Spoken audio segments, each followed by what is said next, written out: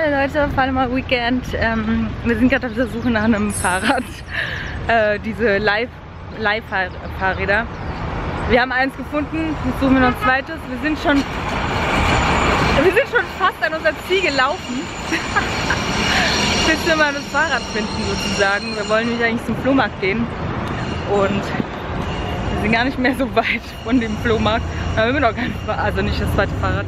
Und eben, mein Freund ist gefahren, ich war hinten drauf. Oh mein Gott, hab so Schmerzen. ich hab das schon lange nicht mehr gemacht. Aber du bist gut gefahren. Schön langsam so, ruhig. Das, das ist einfach mal blau, perfekt blau, da ist nichts. Heute ist der perfekte Sommertag. Okay, Leute gucken. Tschüss. So, wir haben ein Fahrrad gefunden, wir sind aber jetzt im Kaufland. und holen noch was zu trinken. Wir haben so Durst. Will keiner mehr nach dem... Oh mein Gott, wir haben es geschafft. aber wie lange? Noch 20 Minuten oder so, dann offiziell machen die zu, aber es sind halt noch welche da.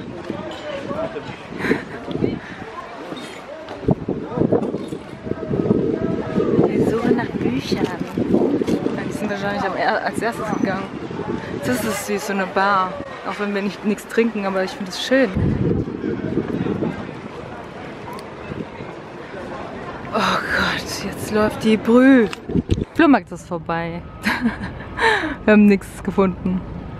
Hier ist der Osthafen, wie man lesen kann. Und da hinten wird es schöner eigentlich. Und guck mal, da ist der neue Henninger Turm. So sieht er aus. Die haben es so gehalten wie den alten von der Form, nur ein bisschen moderner halt. Natürlich. Und da ist auch, glaube ich, was ist denn da drin? Ich glaube, da oben ist ein Restaurant, meine ich. Ich weiß nicht, ob das schon geöffnet hat. Das wollte ich mal abchecken bei Gelegenheit irgendwann. Weil das Wasser glitzert wieder so schön. Du hast im Schatten chillen. Das ist so, so, so, so, so heiß. Meine Güte, ey, ich krieg echt einen Hitzeschlag heute. Was ist das für ein Geräusch? Ich dachte, das ist eine Katze oder so. Hier stehen einfach so Holzabstücke. Auch da. Die sind immer hier. Die sind immer hier im Basic. Ich nehme mir ein paar Champignons mal mal rein. Du weißt, immer die, die zu sind. Das ist der Tipp. Man darf, hier, man darf diese Lamellen nicht sehen, dann sind die am frischsten, wenn die noch zu sind. So wie da, ja genau. Die nein. Naja, kann man auch, wenn man, zum Beispiel wenn man die füllen will, das ist sowieso egal, aber wenn man die noch ein bisschen behalten will, das, das reicht schon, ja. Übrigens gibt es beim Basic, hier bei den Aufzucht von Zweitnutz Zweitnutzungshühnern garantiert wird. Die werden nicht zerschreddert. Nur zur Information. Ich hole hier keine Eier. Jetzt noch voll den Sonnenbrand kassiert, seht ihr? Oh mein Gott. Also es geht noch, aber es ist schon Sonnenbrand. Ich muss da gleich mal was drauf machen, was kühlendes. Scheiße. Aber das ging halt auch gar nicht, ne? Das ist klar beim äh, Dings, beim Fahrradfahren, oh mein Gott. Sonst im Gesicht da habe ich Sonnencreme drauf. Ich habe bis hier Sonnencreme drauf. Ich, obwohl, nee, ich hatte die Schultern habe ich eigentlich auch. Aber gut, nach so langer Zeit jetzt. Wir sind ja lang gefahren. Ich wollte noch einen kleinen Basic Haul machen. Also einfach nur Sachen, die Sachen zeigen, die wir geholt haben. Und zwar einmal von, oh ich sehe gerade, das habe ich zum ersten Mal jetzt von der Marke von Alos. Die haben ja eigentlich diese Brotaufstriche und sowas. Ich wusste gar nicht, dass die auch Drinks machen. Das ist Reiskokos. Ich habe nämlich das deswegen ausgesucht. Ich mag gerne momentan Reiskokos, weil das so leicht ist für äh, mein Müsli. Ich finde, das ist so eine gute, also passt gut in den Sommer. Deswegen habe ich das jetzt ausgewählt. Ich weiß auch nicht, wie man Reisdrink selber macht. Das muss ich auch mal rausfinden. Sollte eigentlich auch machbar sein, oder? Ich meine, natürlich, die haben es ja auch gemacht. Ich habe schon mal erzählt, dass diese Ceylon-Zimt, das ist der ähm, bessere Zimt. Es gibt ja auch diesen Cassia, glaube ich, heißt es. Der ist nicht so, also der ist ein bisschen minderwertiger. Das ist der hochwertigere und ähm, der auch gesünder ist, meine ich. Der andere kann auch Kopfschmerzen verursachen und anderes. Aber ich glaube, ich habe euch schon mal darüber erzählt. Auch einen Link dazu, zu mehr Informationen, aber könnt ihr ja gerne mal selbst recherchieren. Aber ja, Zimt gemahlen und dann Paprika äh, edelsüß gemahlen, Basic, weil ich das äh, nicht mehr hatte. Dann ähm, habe ich zum ersten Mal das hier mitgenommen. Das fand ich sah sehr interessant aus. Und zwar Gemü Gemüsetofu. Man sieht auch richtig, da sind so all möglichen Stückchen drin. Und zwar äh, Karotten und Lauch. Und dann nochmal Kräutern, Gewürze, Zitronensaft. Das war's und Salz. Sieht sehr, sehr, sehr, sehr lecker aus, finde ich. Das wollte ich nämlich unbedingt haben. Diesen Tofu mag ich sehr gerne. Von Typhoon, der Tofu Basilico. Das passt ganz gut zu ähm, Tomaten. Das ist ganz lecker. Und dann einfach mit äh, Balsamico und Olivenöl zum Beispiel. Sehr lecker. Auch so aufs Brot, als Sandwich. Alter Liebling von mir, äh, Fenchel Anis, Anis Kümmeltee äh, gekauft. Das habe ich damals immer getrunken. Jeden Morgen. Schon so lange nicht mehr. Bestimmt schon also ich habe das immer, das ist sehr regelmäßig, also wirklich jeden Morgen und jetzt wirklich bestimmt schon ein Jahr oder länger nicht mehr. So gegen Bauchweh, ähm, wenn man ja so einen Blähbauch hat, dann ist, hilft das ganz gut. Äh, noch um das Thema von letzter Woche aufzugreifen mit dem Plastik. Nochmal zur Verständlichkeit, ich habe es da schon gesagt, wie gesagt, ich bin hier nicht die Heilige und ich bin nicht der Weltenretter und mache alles perfekt, äh, nur weil ich ähm, jetzt mich seit längerer Zeit pflanzlich ernähre das ist es nicht. Ich, ich wollte jetzt darauf einfach nur, ähm, ja, nochmal Bewusstsein schaffen zu dem Thema, weil das äh, einfach uns alle betrifft. Und wenn man doch ein bisschen was tun kann, das meine ich nur, dann ähm, sollte man das doch tun. Das ist alles, was ich eigentlich damit sagen wollte. Also ich, ich bin hier nicht die, die alles richtig macht, ganz und gar nicht. Ich versuche äh, Dinge einfach, ähm, ich bin auch nur Mensch, das klingt immer so blöd und wir alle sind unperfekt. Ähm, aber ich versuche da ein bisschen was einfach, wenn es möglich ist. Und das waren ja nur Kleinigkeiten, die ich euch genannt habe. Und das gehört zum Beispiel dazu, das haben mir auch ganz viele geschrieben da unter das Video, dass man das kaufen kann. Äh, und zwar sind es solche Obst- und Gemüsenetze aus Baumwolle. Und ähm, die sind halt praktisch und wiederverwendbar. Das heißt, das sind eure Beutel, mit denen ihr einkaufen könnt. Ihr braucht nicht mehr diese Tüten zum Beispiel nehmen, wenn man loses Gemüse einpackt. Bei zum Beispiel großen Gemüse ist kein Problem, wenn man zum Beispiel keine Ahnung, Pilze, also so ein, so kleine, kleine Teile hat, dann ist es ein bisschen schwierig, die irgendwie zu nehmen. Und dann ist mir auch schon aufgefallen, dass ich dann doch eine Tüte wieder nehme. Oder ich nehme diese verpackten ähm, und die sind ja auch richtig krass verpackt, ne, mit diesen Deckeln und unten nochmal.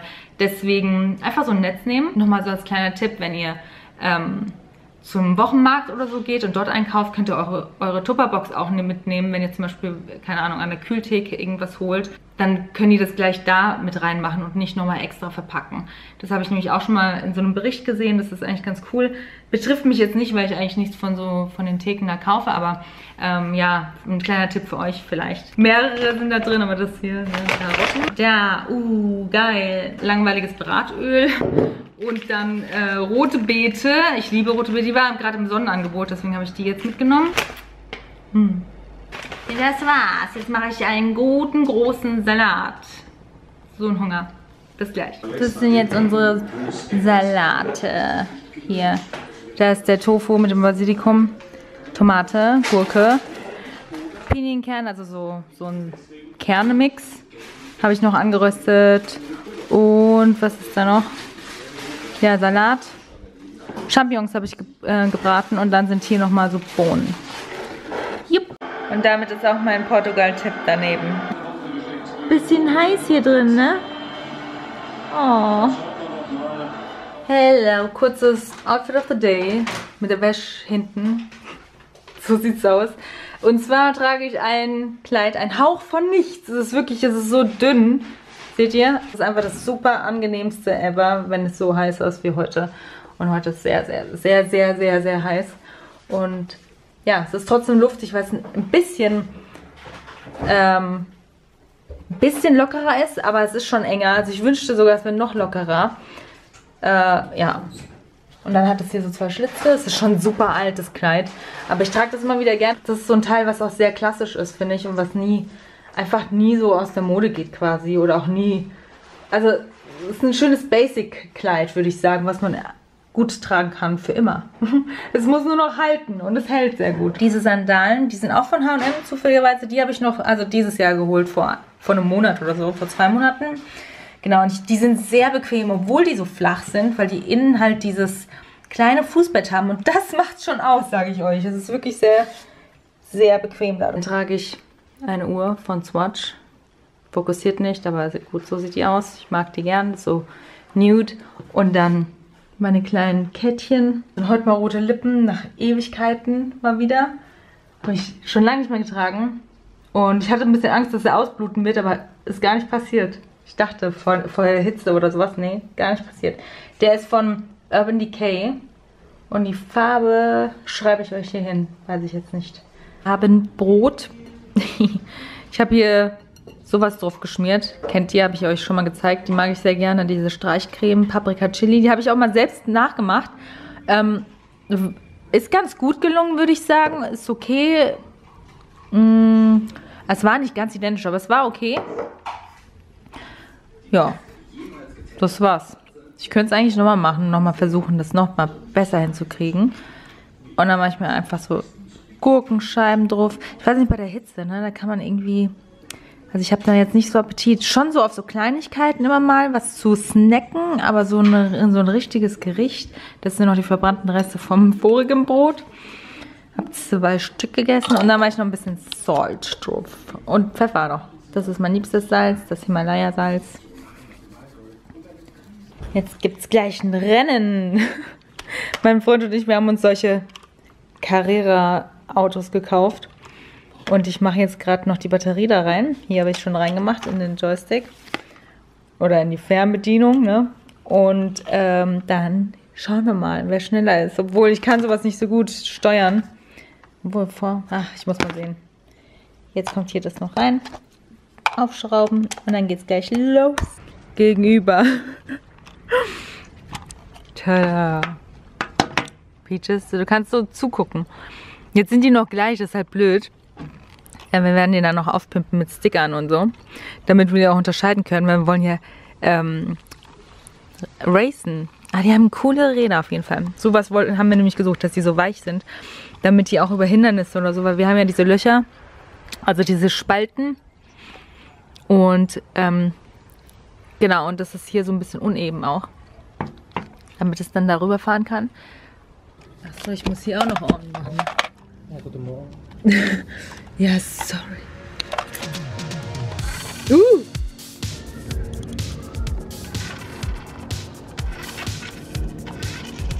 Ah, ja, okay, doch kann man gut steuern eigentlich. Oh, wie schnell das kann, ne? Guck mal.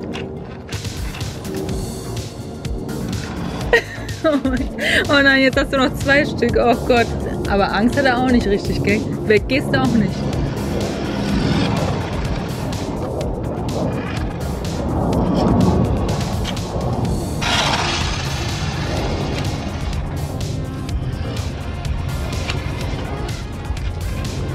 Mein Gott, doch, ich. Ey! Also ich bin die Blöde, die die ganze Zeit nur im Kreis fährt, ja. Ich finde es trotzdem schwer. Ich finde es voll schwer, das zu steuern, weil hier, das ist mal vor zurück, okay. Und das rechts ist dann Richtung. Ich finde es verwirrend. Vorbei. Akku hält nur 20 Minuten. Bei meinem Freund geht es noch komischerweise. Meins nicht mehr. Das macht Spaß. Cool. Okay, Akku leer, mein Akku auch leer. Äh, das war's für diese Woche. Ich äh, wünsche euch eine wunderschöne Restwoche und wir sehen uns dann gerne im nächsten Video wieder oder im nächsten Fall immer Weekend. Bis dann. Tschüss, Fall Weekend.